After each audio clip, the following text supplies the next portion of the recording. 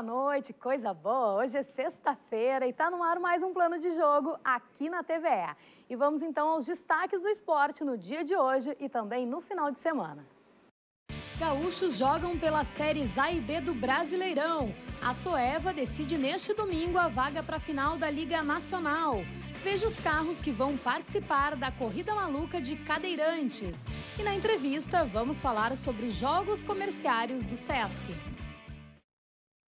E a gente começa pela Série B. O Juventude enfrenta o Oeste logo mais em Caxias do Sul e se marcar ponto pode ajudar o Inter a se classificar para a Série A. Mas o atual líder da competição terá de vencer o seu jogo amanhã aqui em casa contra o Vila Nova para não ser mais alcançado pela equipe de Barueri na quinta colocação. O Juventude está logo atrás em sétimo. Se vencer, ainda pode até sonhar com a vaga no G4.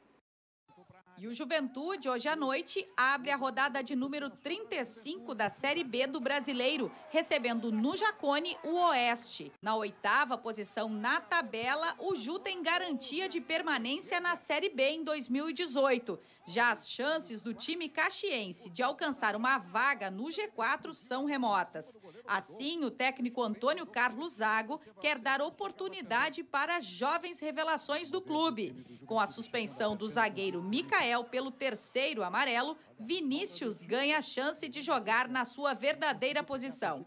Já o Oeste está na disputa pela quarta vaga e uma vitória lhe garante esta posição caso o Paraná não vença seu compromisso contra a Luverdense. Juventude e Oeste entram em campo às 7h15, daqui a pouco.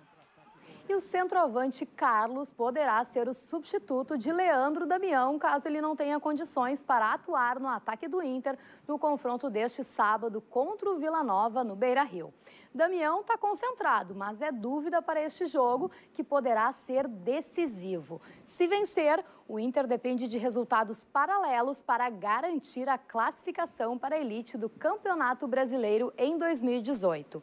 A sexta colocação, onde hoje está a equipe goiana na Série B, é a mesma em que deixou o atual líder Inter ao derrotá-lo por 2 a 1 em casa lá na primeira fase. O Vila Nova abriu o placar com o meia Alípio, que recebeu um passe dentro da área e não perdoou o goleiro Danilo Fernandes. Dez minutos depois, Matheus Anderson meteu a mão na bola dentro de própria área e o juiz apitou pênalti. William Potker bateu e empatou o jogo. No tempo regulamentar, Matheus se redimiu e concluiu para as redes, jogada de Thiago Adam. Final Vila Nova 2, Inter 1. O novo duelo amanhã começa às quatro e meia da tarde. Já o Brasil de Pelotas joga logo depois, às sete da noite. Depois de ter vencido o Paraná no Bento Freitas, o Chavante vai até Belém do Pará enfrentar o Paysandu, buscando pontuar para se afastar ainda mais da zona de rebaixamento. Com dois pontos a mais que o Boa Esporte, primeira equipe a figurar no Z4, o Brasil de Pelotas joga no norte do país ainda ameaçado de cair. O time do técnico Klemer venceu um duelo difícil contra o Paraná em casa, mas agora vai enfrentar um clube que também está ameaçado. O Paysandu está com três pontos a mais que os pelotenses e uma vitória deixaria os paraenses bastante tranquilos para as quatro últimas rodadas do campeonato. Um empate pode ser considerado bom resultado para os rubro-negros. A partida começa às 7 horas da noite. E atenção, torcedor gremista. Na próxima terça-feira, a partir das duas da tarde, começa a venda dos ingressos para a grande final da Taça Libertadores na Arena.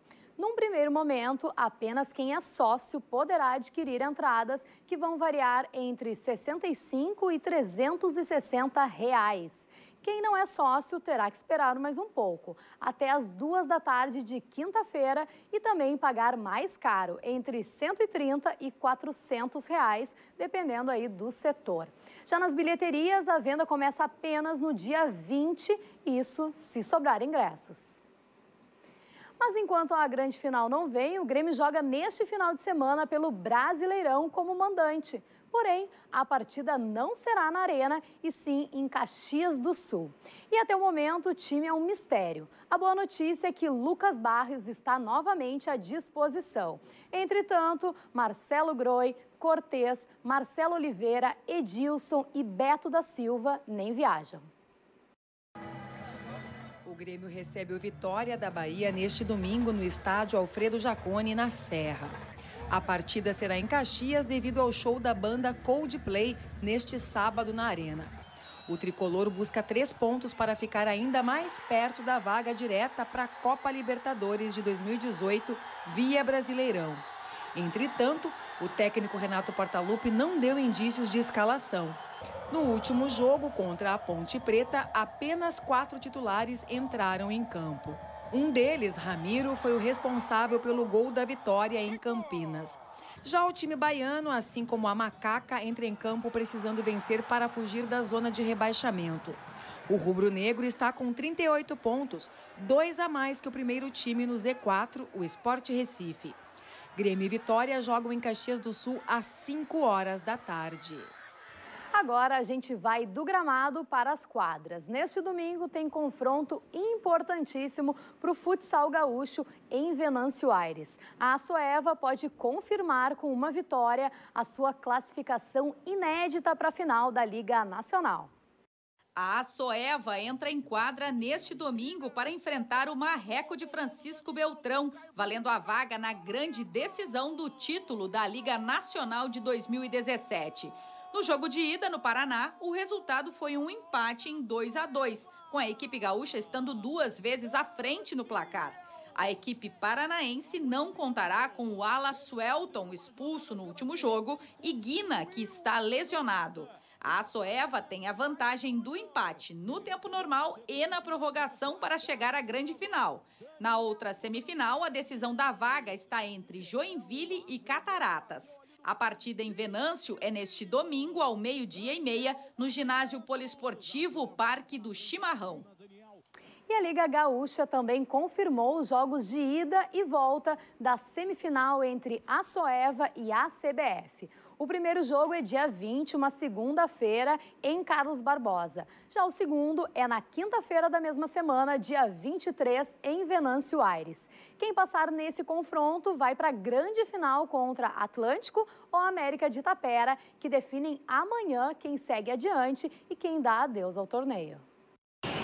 No Caldeirão do Galo, em Erechim, o time da casa joga com a vantagem do empate. Isso porque venceu a primeira partida das semifinais em Tapera por 4 a 2. Já o América precisa ganhar e forçar a prorrogação para ter chances de chegar à final do estadual. Atlântico e América entram em quadra às 7 horas da noite.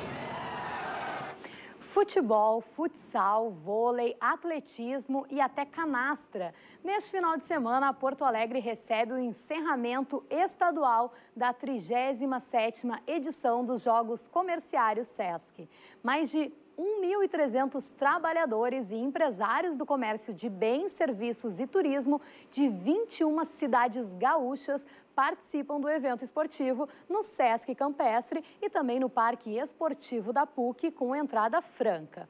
Mais detalhes com o diretor regional do Sesc Rio Grande do Sul, Luiz Tadeu Piva, que está conosco aqui no estúdio. Boa noite, Luiz, tudo bom? Oi, Cris, tudo bem? É um prazer estar aqui contigo. Prazer é todo nosso em recebê-lo. A gente pode dizer que já é um sucesso esses jogos, porque 37 edições não tem como negar o sucesso, não é verdade? É, realmente a gente está muito feliz em termos uh, uma competição tão longa, né, uh, por tantos anos sendo realizadas e envolvendo 1.300 atletas na final, né?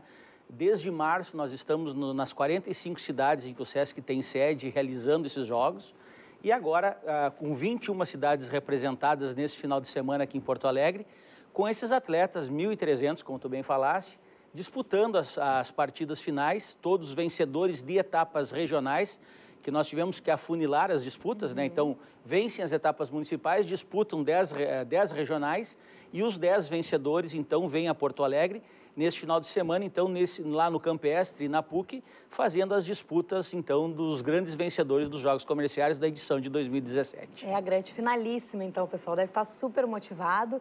E tu estava me contando que, na verdade, eh, essas despesas, porque vem pessoas do, do, do estado inteiro, né? Essas despesas das finais, como hospedagem, alimentação, é tudo por conta do SESC, é isso mesmo? Sim, exatamente. Isso é, é o grande, faz parte da premiação das equipes, né? Todos são vencedores regionais, então, além de termos o congraçamento dos, da, dos empregados do setor, nós também mobilizamos a questão turística da cidade, porque nós ocupamos toda a rede hoteleira de Porto Alegre, ah, fretamos ônibus, então nós temos aqui equipes do, de, da fronteira oeste, do litoral norte, da serra, do centro do estado, então isso também faz com que a economia gire aqui no nossa, na nossa cidade. Então, nós con congregamos lazer e o turismo, né? a economia também sendo aquecida com essa atividade que o SESC realiza aqui na cidade.